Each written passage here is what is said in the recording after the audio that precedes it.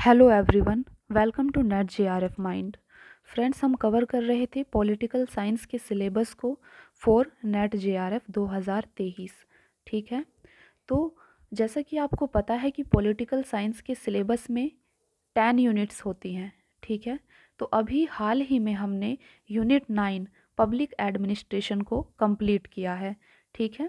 तो public administration की जो सारी क्लासेस हैं, वो इसी चैनल के प्लेलिस्ट में डाल दी गई हैं फ्रेंड्स अगर आप इस चैनल पर नए हैं तो इस चैनल को सब्सक्राइब कर लें, ठीक है?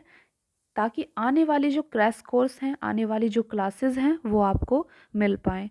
जैसे कि हमने अभी पब्लिक एडमिनिस्ट्रेशन का एक क्रैश कोर्स लाकर इस यूनिट को अच्छे से कंप्लीट किया है, ठीक है? इसके प्रीवियस ईयर क्वेश्चंस को हमने डिस्कस किया था अच्छे से, ठीक है? वैसे ही हम जो बाकी की सारी यूनिट हैं, ठीक है? फॉरेन पॉलिसी, पॉलिटी, गवर्नेंस, हम सारी यूनिट्स का एक क्रैश कोर्स लाएँगे, सबके पी लाएँगे, ठीक है? इसीलिए आप इस चैनल को सब्सक्राइब करें, लाइक करें और शेयर करें। करें, ठीक है? तो आज हम बात करने वाले हैं यूनिट फोर कंपेरेटिव पॉलिटिक्स की, ठीक है? तो अभी जो है हम आपके लिए कंपेरेटिव पॉलिटिकल एनालिसिस पर एक क्रैश कोर्स लेकर आएँगे। इसकी सारे जो भी टॉपिक होंगे, वो आपके लिए उनकी क्लास लाएँगे, ठीक है? तो सबसे पहले जैसे कि हमने पिछली बार किया था पब्लिक एडमिनिस्ट्रेशन की जब हमने क्लास स्टार्ट की थी तो सबसे पहले हमने इसका सिलेबस डिस्कस किया था कि आखिर पब्लिक एडमिनिस्ट्रेशन के अंदर हमें कौन कौन से टॉपिक कवर करने होते हैं, ठीक है? तो ऐसे ही आज हम unit four comparative political analysis का एक डिटेल सिलेबस, ठीक है? डिटेल सिलेबस डिस्कस करेंगे। कंपेरेटिव पॉलिटिक्स का कि कंपेरेटिव पॉलिटिक्स के अंदर हमें कौन कौन से टॉपिक कवर करने हैं, ठीक है? तो अगर आप इस चैनल पर नए हैं तो इस चैनल को सब्सक्राइब ज़रूर करें, ठीक है? तो और अगर आप एक बिगनर हैं फ्रेंड्स तो मैं आपको बता दूँ कि जो पॉलिटिकल साइंस आपका सब्जेक्ट है फॉर नेट जीआरएफ ये टेन यूनिट में बटा हुआ है, जैसे कि यूनिट वन है। यूनिट वन है आपकी पॉलिटिकल थ्योरी से रिलेटेड ठीक है? यूनिट टू है आपकी वेस्टर्न थिंकर से रिलेटेड यूनिट थ्री है आपकी इंडियन थिंकर से related unit four comparative politics से रिलेटेड है। यूनिट फाइव आपकी इंटरनेशनल रिलेशन से रिलेटेड है। यूनिट सिक्स आपकी इंडियाज़ फॉरेन पॉलिसी से रिलेटेड है। यूनिट सेवन आपकी पॉलिटिकल इंस्टीट्यूशंस इन इंडिया से रिलेटेड है, ठीक है? Unit eight political process in India unit nine public administration से रिलेटेड है, जो कि हम कवर कर चुके हैं, ठीक है? पब्लिक एडमिनिस्ट्रेशन की सारी क्लास हमारे चैनल की प्लेलिस्ट में आपको मिल जाएँगी, ठीक है? यूनिट टेन आपकी गवर्नेंस से रिलेटेड है। तो हम हर यूनिट के लिए एक क्रैश कोर्स लेकर आएँगे। ठीक है? तो आज हम बात करते हैं यूनिट फोर के कंपेरेटिव पॉलिटिक्स के डिटेल सिलेबस की, ठीक है? तो चलिए स्टार्ट करते हैं फिर आज की क्लास देखिए फ्रेंड्स यूनिट फोर ठीक है? Comparative political analysis comparative politics तो मेनली इसका डिटेल सिलेबस क्या है? तो सबसे पहला जो इसका टॉपिक है, वो है अप्रोचेज़ कंपेरेटिव पॉलिटिक्स को पढ़ने की अप्रोचेज़ क्या होती हैं, ठीक है? कौन कौन सी थ्योरी से रिलेटेड है? तो अप्रोचेज़ में हमें क्या सब पढ़ना है? सबसे पहले हमें देखना है इंस्टीट्यूशनल अप्रोच क्या होता है, ठीक है? इंस्टीट्यूशनल अप्रोच क्या होता है? देन हमें देखना है पॉलिटिकल कल्चर अप्रोच क्या होता है, ठीक है? पॉलिटिकल इकोनॉमी अप्रोच क्या है? न्यू इंस्टीट्यूशनलिज्म क्या होता है? कंपेरेटिव मेथड्स क्या हैं, ठीक है? तो अप्रोचेस के अंदर जो हमारा पहला टॉपिक है, उसके अंदर हमें ये सारे जो भी अप्रोचेज़ हैं, इनको कवर करना होगा, ठीक है? फिर दूसरा जो हमारा टॉपिक आएगा, वो है कॉलोनियलिज्म एंड डीकोलोनाइजेशन ठीक है? तो इसके अंदर हमें क्या पढ़ना होगा दूसरे टॉपिक के अंदर? देखिए, दूसरे टॉपिक में हमें पढ़ना होगा forms of colonialism anti colonial struggle क्या था और डीकोलोनाइजेशन कैसे हुआ, ठीक है? तो ये हमें दूसरे टॉपिक के अंदर कवर करना होगा।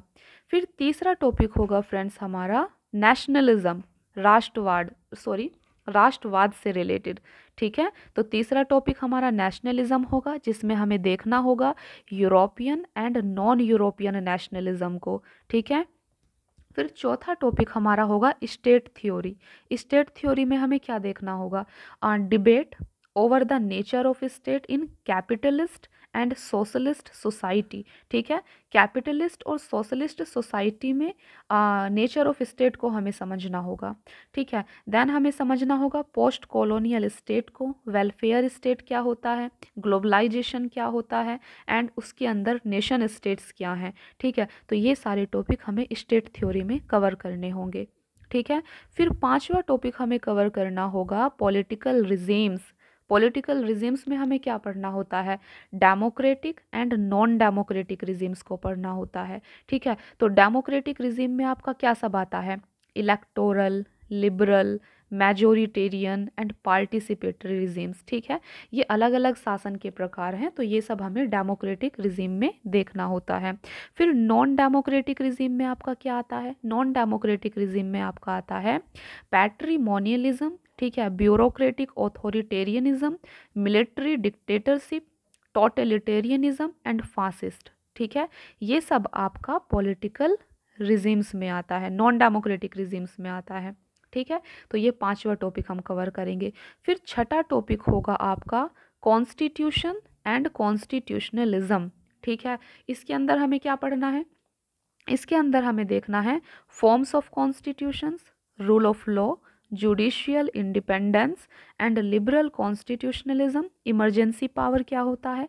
क्राइसिस ऑफ़ कॉन्स्टिट्यूशनलिज्म क्या है? ये सारे टॉपिक हमें यूनिट सिक्स सॉरी आइए छठे टॉपिक के अंदर कवर करने होंगे, ठीक है?